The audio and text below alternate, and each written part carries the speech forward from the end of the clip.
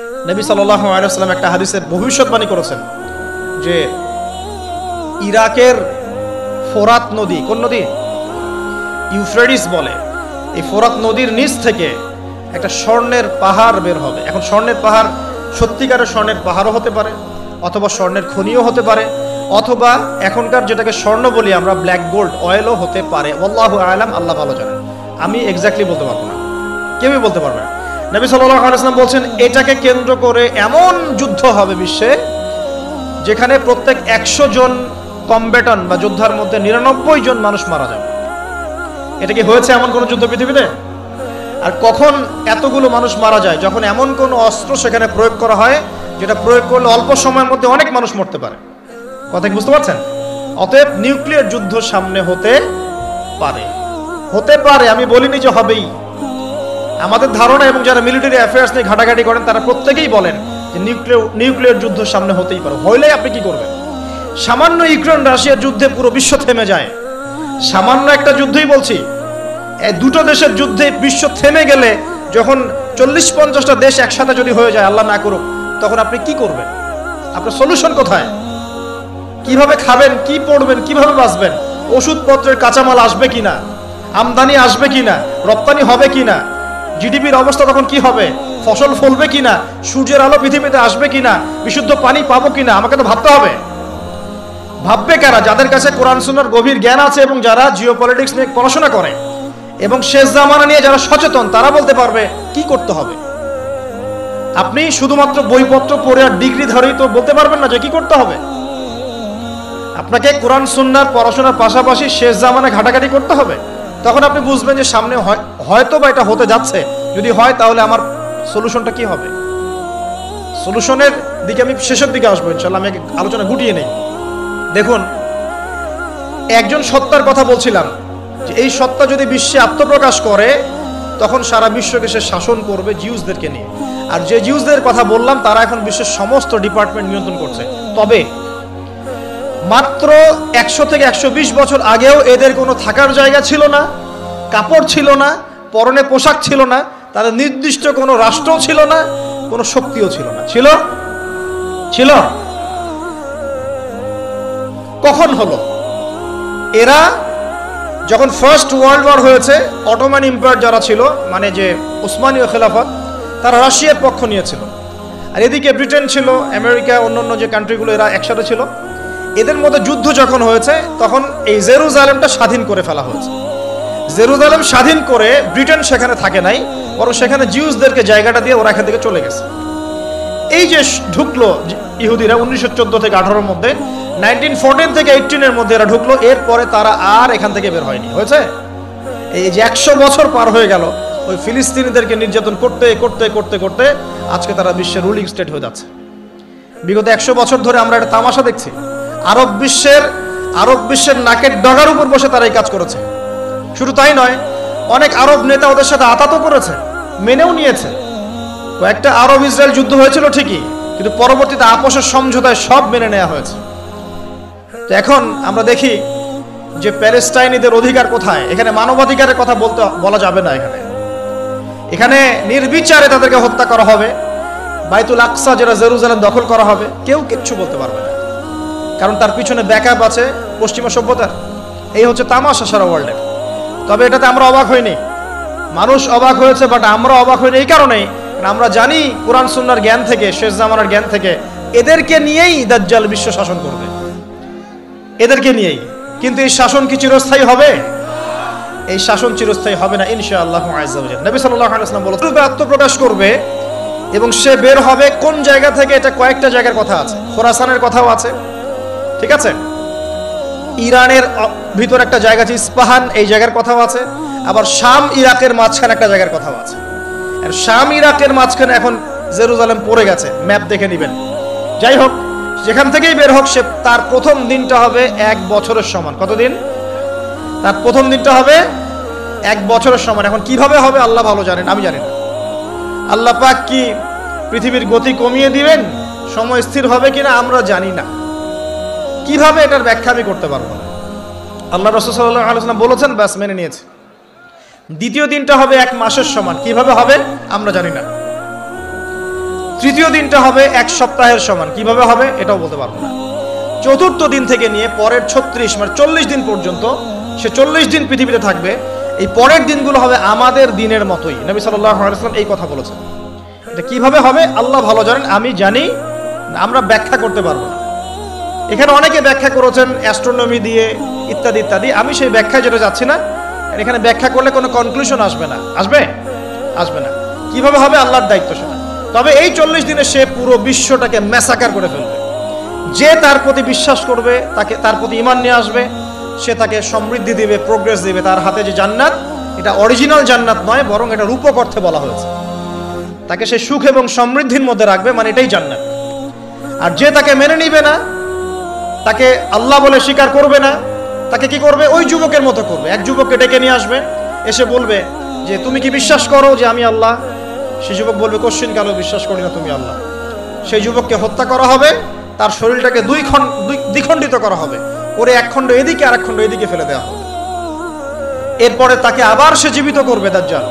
জীবিত করে বলবে, আমি তোমাকে মৃত্যু দিলাম, আবার জীবিত করলাম। এখন কি বিশ্বাস হয়েছে যে আমি আল্লাহ?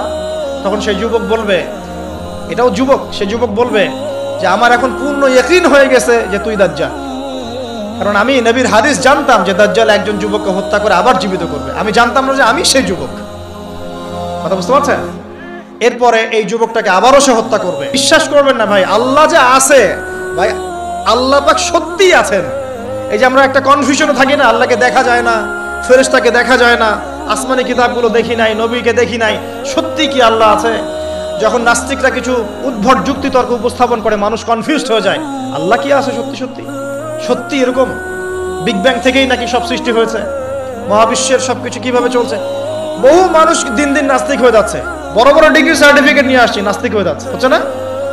একটা কনফিউশন থ্রো করা হয়েছে। আরে ভাই, আল্লাহ সত্যি আছেন। এরকম জায়গায় যখন যাবেন, দাঁড়াবেন, আপনার আইনাল ইয়াকিন, হাক্কুল ইয়াকিন হয়ে যাবে। হ্যাঁ আল্লাহ সত্যি আছে যখন দেখবেন, জীবনে আপনি হোঁচট খেয়েছেন আপনি কোনো বিপদে পড়েছেন? কেউ নেই আপনাকে সাহায্য করার। শেষদায় পরে কান্নাকাটি করছেন। দেনান দেন দেখছেন আপনার সামনে সেই বস্তুটা হাজির। আপনি বুঝতে পারবেন আল্লাহ আছেন। আল্লাহ সত্যি আছেন। মহাবিশ্বের দিকে তাকিয়ে দেখেন। যারা এখানে অ্যাস্ট্রোনমি জানেন বা গণিত পড়েছেন, তারা জানবেন। এই যে গ্রহ নক্ষত্রগুলো দেখছেন, এগুলোর পজিশন যদি এক ফুট বা এক ইঞ্চি পর্যন্ত সরে যায়, পুরো মহাবিশ্বটা কলাপস করে যাবে। সূক্ষ্ম একটা গাণিতিক তত্ত্ব দিয়ে পুরোটাকে সাজানো হয়েছে। যদি চাঁদ এক হাত সামনে চলে আসে, পৃথিবীর এক হাত সামনে, এই পৃথিবী আর চাঁদের এই যে দূরত্ব, এর থেকে যদি এক হাত সামনে চলে আসে, সূর্য যদি একটু পিছিয়ে যায়, দেখবেন যে পুরো পৃথিবীর বিশাল একটা অংশ এই যে বরফে ঢেকে যাবে। থাকবে না। অল্প একটু, সামান্য একটু সূর্য পিছনে চলে গেলে এই পুরো পৃথিবীর বিশাল একটা অংশ বরফে ঢেকে যাবে। আপনি এখানে থাকতে পারবেন না। আর সূর্য যদি একটু সামনে চলে আসে, পৃথিবীর একটা বড় অংশ মরুভূমি হয়ে যাবে, থাকতে পারবেন না আপনি। এত সূক্ষ্মভাবে কে কে এটাকে ফাংশন করল বলেন? আসেন, মূল জায়গায় আসি যে, এই যে একটা সত্তার কথা বলছি, এই সত্তার নাম কি? মাসিহুদ্দাজ্জাল কি নাম? সে সারা বিশ্বটাকে শাসন করবে, এটা সত্য। তবে এটা চিরস্থায়ী হবে না। কখন শাসন করবে? নবী সাল্লাহ ইসলামের ভবিষ্যৎবাণীগুলো অনুযায়ী আসন্ন সময়টাতে একটা মালহামা হবে। মালহামাটা কি? মালহামা মানে মহাযুদ্ধ গ্রেট ওয়ার মানে এমন যুদ্ধ যে যুদ্ধে অনেকগুলো রাষ্ট্র একত্রিত হয়ে যাবে। নবী সাল্লাহ আলী হাসাল্লাম শেষে বলছেন, তুমি কি এমন কোনো কাজ করেছ? সুরমা দানি থেকে সুরমা বের করার সময় আমরা যেভাবে বের করে চোখে দিই, এমন কোনো কাজ কি করেছ? বুঝতে পারছেন? বোঝেন নাই? তোমরা কি ফিডার খাও নাকি? তাহলে সুরমা দানি থেকে সুরমা বের করার সময় আমরা যেভাবে বের করি, তুমি কি এমন কোনো কাজ করেছ? সাবি মাথা নাড়ে বলছেন হ্যাঁ এমন কোনো কাজ করেছে। তারপরে এই যুদ্ধের শেষের দিকে গিয়ে মুসলিমদের বিজয় হবে ইনশাআল্লাহ এবং তাদেরকে আল্লাহ একজন নেতা দিবেন। সে নেতার নাম হবে মুহাম্মদ বিন আব্দুল্লাহ। কি নাম হবে? তার নাম তার নাম মাহদি নয়, তার উপাধি হচ্ছে মাহদি। মদিনা থেকে মক্কায় আসবেন। মদিনা থেকে তিনি মক্কায় আসবেন। মক্কায় মাকাম ইব্রাহিম, আর এই যে আমাদের কাবাঘর, এর মাঝখানে। এই মাঝখানে তিনি দাঁড়াবেন, তার যারা ফলোয়ার্স থাকবে, তারা সেখানে তাকে, তার হাতে বায়াত নিবে তিনি বায়াত নিতে চাবেন না, তিনি নেতৃত্ব চাবেন না, মানুষ জোর করে তাকে নেতৃত্ব দিবে। আল্লাহ পাকের নেতারা এমনই হন, তারা নেতৃত্ব চায় না, মানুষ জোর করে দেয়। কথা বুঝতে পারছেন না? আল্লাহ পাকের মনোনীত যারা, তারা মানুষের কাছে চেয়ে নেয় না, মানুষ তাকে জোর করে দেয়। কারণ মানুষ জানে যে এই ব্যক্তি ভালো। সে অ্যাভয়েড করে। যেমন আবুজার রদি আল্লাহ আনহুকে নবী সাল্লাহ আলাইসলাম বলেছেন, হে আবুজার তুমি দায়িত্ব চেয়ে নিও না। হে আবুজার তুমি দায়িত্ব চেয়ে নিও না, কারণ তুমি যদি দায়িত্ব চেয়ে নাও, এরপরে তোমাকে দায়িত্ব দেয়া হয়, তাহলে আল্লাহর পক্ষ থেকে তোমাকে সাহায্য করা হবে না।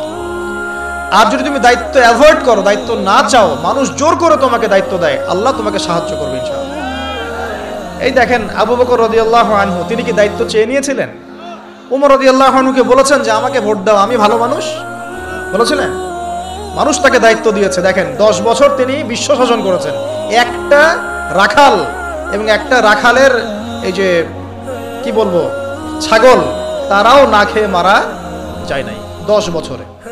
একটাও তার শাসন নিয়ে কথা বলতে গেলে তো সারা রাত পার হয়ে যাবে। শুধু একটা একটা ন্যায় বিচারের উদাহরণ দিচ্ছি। তার নিজের ছেলে একটা অন্যায় করেছে, নিজের ছেলে। হয়তোবা মদপান করেছে, অথবা জেনা করেছে আল্লাহ আলম। হুদুদের অপরাধ। যে অপরাধ করলে শাস্তি হয় প্রকাশ্যে। মদপান করলে ইসলামের শাস্তি হচ্ছে চল্লিশটা বেত্রাঘাত। আর জেনা করলে অবিবাহিত হলে শাস্তি হচ্ছে একশো বেত্রাঘাত। তোমরা যারা এখন জেনা করেছ বা করছ, এখানে উপস্থিত আছো বা এই লেকচার শুনবে, ছেলে বা মেয়ে যেই হও না কেন, তোমাদের ঘাড়ের উপরে এক একটা জেনার জন্য একশো বেত্রাঘাতের শাস্তি ঝুলে আছে। এই কথা তো কলেজের মধ্যে পৌঁছালো না। একবার জেনা করেছ তোমার কাঁধের উপরে একশো বেত্রাঘাতের শাস্তি ঝুলে আছে এখনও। এবং এক বছরের নির্বাসন তোমার জন্য ঝুলে আছে। সর নূরের এক থেকে চার নম্বর আয়াত পরে দেখবে। আর যারা বিবাহিত ব্যক্তি, যে দেবর ভাবি জেনা করেছেন, দুলাভাই শালি জেনা করেছেন হ্যাঁ এই এই প্রতিবেশী প্রতিবেশীর স্ত্রীর সাথে জেনা করেছেন, অমুক কর্মকর্তা অমুক কর্মকর্তার স্ত্রীর সাথে জেনা করেছেন, আপনারা পৃথিবীতে বেঁচে থাকার অধিকার হারিয়ে ফেলেছেন। কারণ একজন বিবাহিত ব্যক্তি যদি জেনা করে, তার একটা শাস্তি ইসলামে, সেটা হলো রজম। তাকে কোমর পর্যন্ত মাটিতে পুঁতে ফেলে পাথর নিক্ষেপ করে হত্যা করতে হবে, এটা ইসলামের বিধান। এই বিধান এখন চালু করা যাবে না। এই বিধান এখন পৃথিবীর কোথাও আছে বলে আমাদের জানা নাই। হয়তো অল্প কিছু জায়গায় থাকতে পারে, এটা আল্লাহর ইচ্ছা।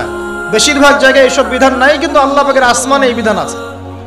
জমিনে এইসব বিধান নাই ঠিকই বাট আল্লাহ পাকের আসমানে এই বিধান আছে, মৃত্যু হয়ে গেলেই শাস্তি ভোগ করবে, যদি তওবা না করে মারা যায়।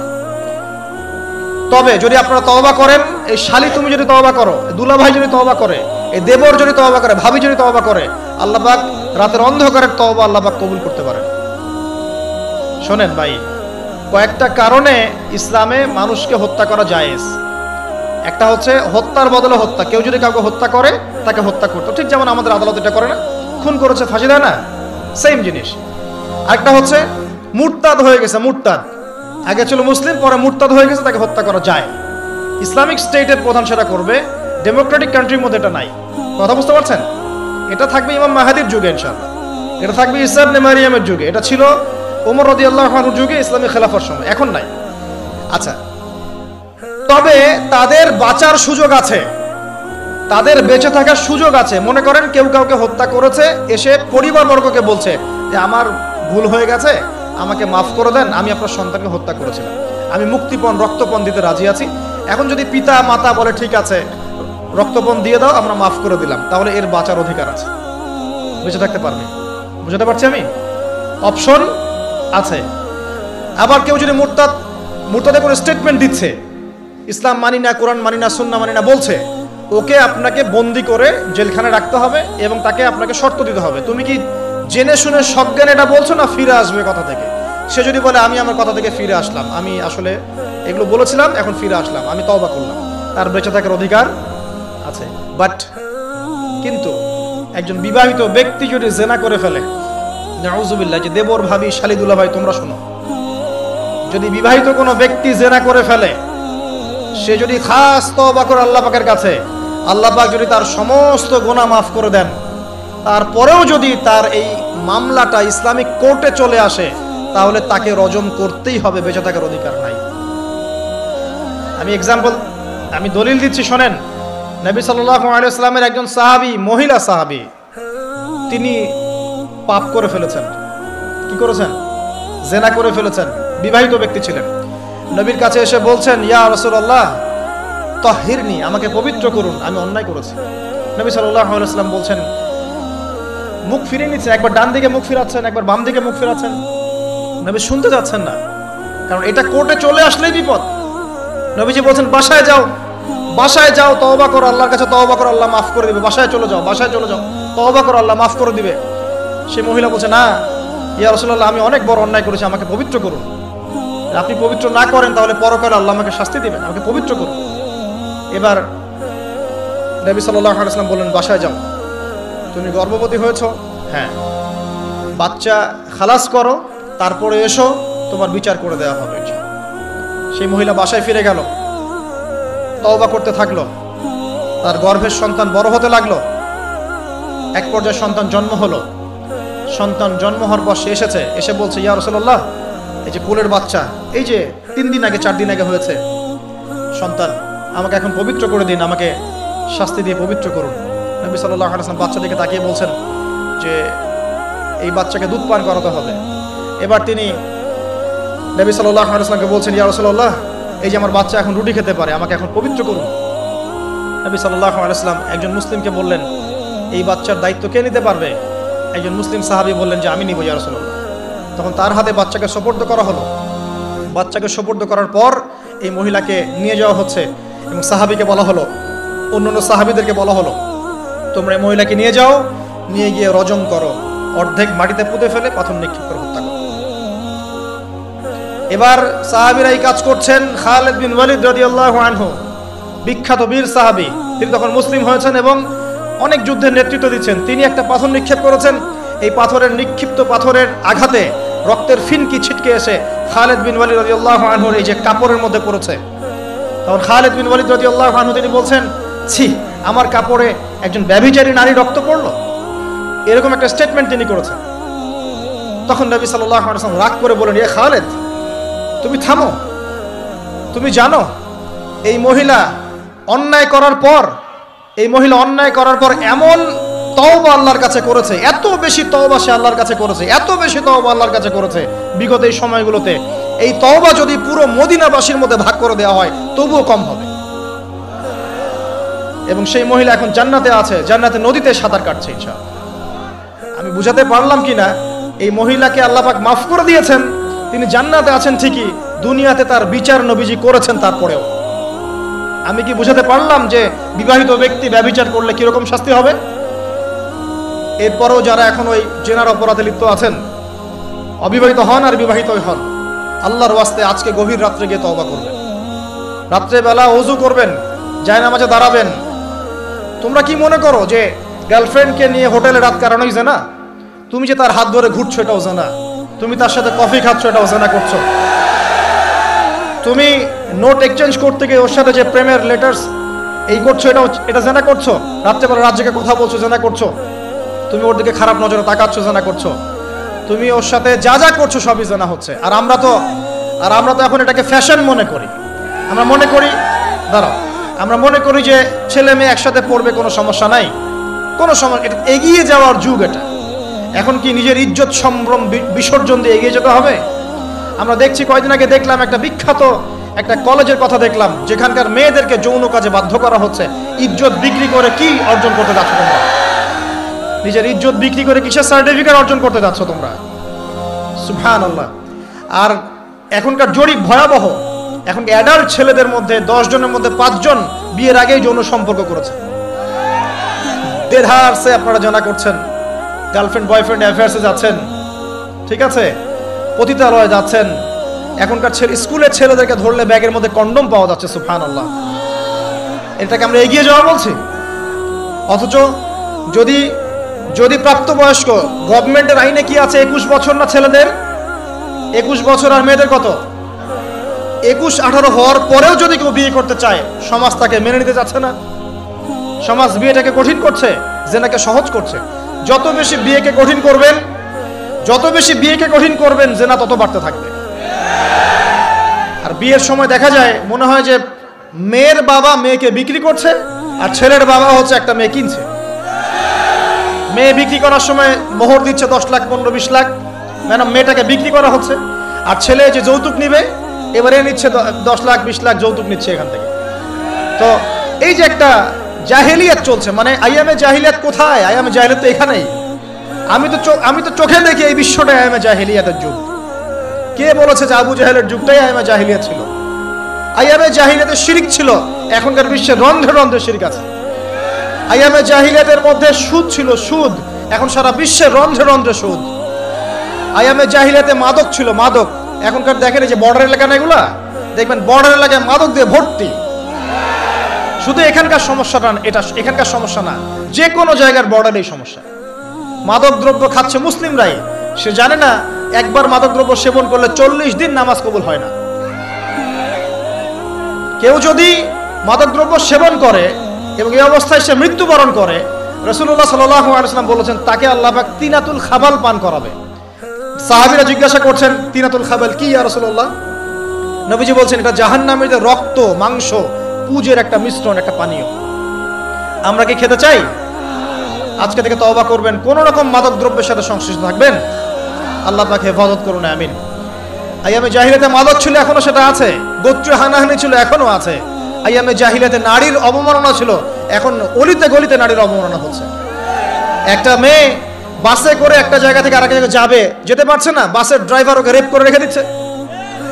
ঢাকা শহরের মধ্যে এক জায়গা থেকে আরেক একটা মেয়ে যাবে, রাত্রেবেলা কাজ শেষ করে যেতে পারছে না, বাসের কন্ট্রাক্টর হেল্পার মিলে ওকে রেপ করে রেখে দিচ্ছে। কোথায় মেয়ের স্বাধীনতা? কোথায় মেয়ের ইজ্জতের স্বাধীনতা আছে? একজন বড় ক্ষমতাধর ব্যক্তিও তার স্ত্রীকে রাস্তায় একা ছাড়তে সাহস পাচ্ছেন না এখন।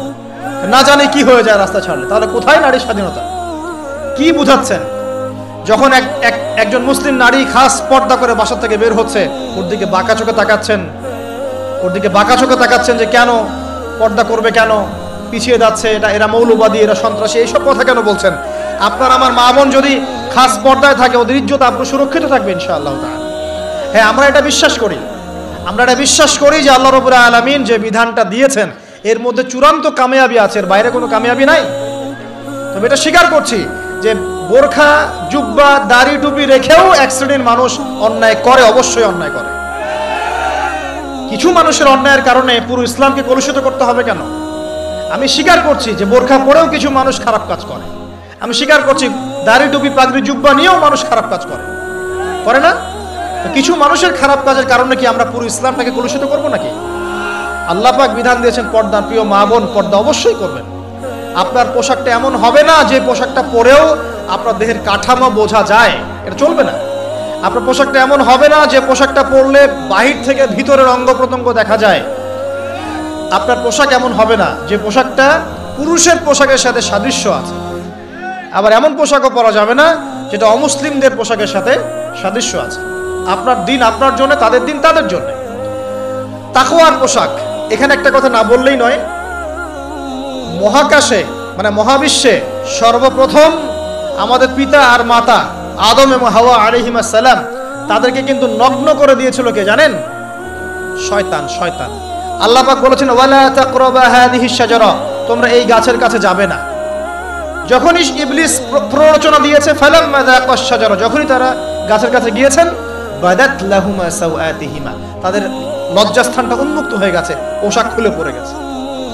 আমাদের পিতা মাতাকে মহাবিশ্বে নগ্ন করে দিয়েছে কে? ইবলিস, তাহলে এখন দুনিয়াতে যারা মুসলিমদের গা থেকে কাপড় খুলে ফেলতে চায়, এরা কার এজেন্ট বুঝতে পারছেন না?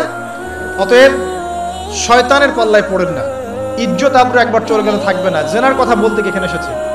যে যত যত মানুষ দেখছেন এখন উপস্থিত, যুবক, যুবতী, তরুণ, তরুণী, আবার বৃদ্ধ পর্যন্ত, এখন ম্যাক্সিমাম মানুষ জেনার সাথে সম্পৃক্ত পর্নোগ্রাফির মাধ্যমে। সবাই মোবাইলে মোবাইলে, ইন্টারনেটে বাসায় শুয়ে শুয়ে কি দেখে আর না দেখে আল্লাহ ভালো এবং এটা এটা কি হয়েছে? এটা দেখানোর মধ্য দিয়ে আপনার মস্তিষ্কটাকে অসুস্থ করে ফেলা হয়েছে। আপনি সুস্থ মস্তিষ্কের মানুষ নন এখন। বিকৃত যৌনাচার আপনার মধ্যে বাসা বেঁধেছে। দিন দিন দেখবেন এগুলোর ফলশ্রুতিতে জেনা বেড়েছে, ধর্ষণ বেড়েছে, বিকৃত যৌনাচার বেড়েছে, সমকামিতা বেড়েছে। এমনকি পুরুষে পুরুষেও জেনা এখন করছে না বহু জায়গায় আপনারা তো হয়তো খবর রাখেন না। আমরা এ টু জেড খবর রাখি। দুঃখের সাথে বলতে হয়, এমন অনেক জায়গায় সমকামিতা ছড়িয়ে পড়েছে যেগুলো কখনো কাঙ্ক্ষিত ছিল না। কখনো কাঙ্ক্ষিত ছিল না। তো এই যে কেন হলো? এটা কি সম্ভব কখনো? আপনার হাতে কোরআন আছে। আপনি সারাদিন মানুষকে কোরআন পড়ান। এখন কি আপনার পক্ষে এটা সম্ভব কিনা? বলেন। একজন মানুষ নামাজ পড়ে পাঁচ অক্ত, ইমামতি করে। ঠিক আছে? মানুষকে দার্স দেয়, কোরআন পড়ায়, দিনের ভালো কথা বলে। এর পক্ষে সম্ভব কিনা? একটা ছেলেকে বলাৎকার করা সম্ভব কিনা? সম্ভব?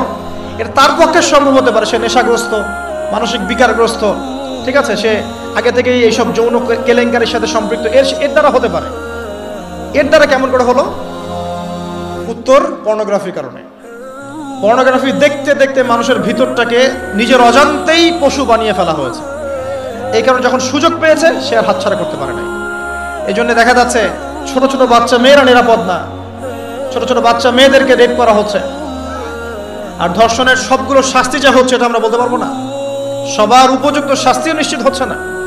যদি, শোনেন, একটা মাস, খালি একটা মাস, যদি একটা মাস প্রত্যেক ধর্ষকের প্রকাশ্যে বিচার নিশ্চিত করতে পারেন, একটা ধর্ষণের কেস থাকবে না ইনশাআল্লাহ। এক মাস খালি যে চুরি করেছে, হাতটা খালি সামনে কেটে দেন দেখবেন চুরি করার সাহস মানুষ পাবে না। আমরা জানি এগুলো করতে গেলে ওই যে পশ্চিমারা দাঁড়িয়ে যাবে, দাঁড়িয়ে বলবে, মানবতা বিরোধী অপরাধ হচ্ছে ওই দেশে। এ কথা বলবে। হ্যাঁ আমরা ওখানে গণতন্ত্র দেখতে চাই, আমরা ওখানে অমুক দেখতে চাই, তমুক দেখতে চাই, এগুলো কথা বলবে এখন দাঁড়িয়ে। অথচ ওদের দেশের নাইনটি টু পার্সেন্ট মানুষ পণ দেখে। ওদের দেশের প্রতি দশ জনের আটজন ধর্ষণের শিকার হয় মেয়েগুলা। ওদের দেশে এই যে পর্ন ইন্ডাস্ট্রি আছে, যেটা বাহাত্তর বিলিয়ন ডলারের ব্যবসা করে সারা বিশ্বের মধ্যে। এবং ওখানে ফ্রি সেক্স উন্মুক্ত সেক্স আপনি যা ইচ্ছা, যাকে ইচ্ছা, যার সাথে ইচ্ছা সেক্স করতে পারবেন। যার সাথে ইচ্ছা। এই যে আফ্রিকান কন্টিনেন্ট বলেন আমেরিকা লস অ্যাঞ্জেলাস বলেন ব্রিটেন বলেন ফ্রান্স জার্মানি সব ফ্রি সেক্সের দেশ। এবং এগুলোর মধ্যে সমকামিতা বৈধ। আপনি চাইলে একটা ছেলেকেও বিয়ে করতে পারেন। এখন এদের এদের কাছ থেকে আমাদেরকে কল্যাণ শিখতে হবে। ওদের কাছ থেকে আমাদেরকে উন্নয়ন শিখতে হবে। হে মুসলিম জনতা, ইমানের ইমানের আলোয় বলিয়ান হন ইমানদার হন কোরআন সুন্নার কাছে আসেন, দেখবেন কোরআন সুন্না আপনার তখ্ত এবং ক্ষমতাকে আরও বলিয়ান করবে আমরা কারও ক্ষমতার দিকে চোখ বাড়াচ্ছি না। যে যাকে আল্লাহ পাক ক্ষমতা দিয়েছেন আমরা মেনে নিব, ইনশাআল্লাহ। সে